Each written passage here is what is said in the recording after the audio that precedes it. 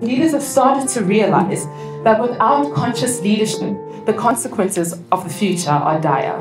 We were at a time where the cost of doing nothing was higher than the cost of doing something.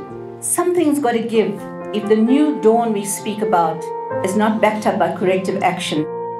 The problem we have, we have leaders, very strong IQ, but very low emotional intelligence and spiritual intelligence.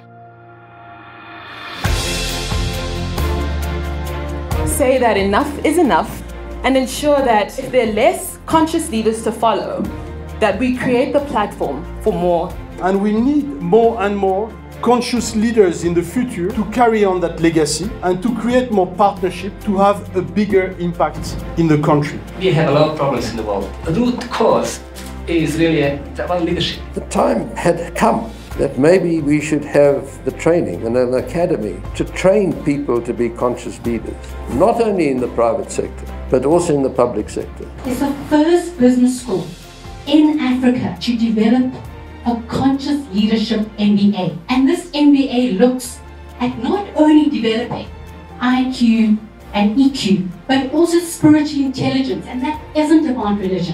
Hundreds, possibly thousands of young people will come through one door at Regenesys and go out another. And they'll go out as conscious leaders.